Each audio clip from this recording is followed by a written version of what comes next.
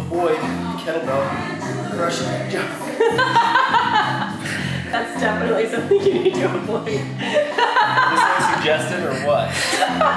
Ina, focus. You need to stop smiling.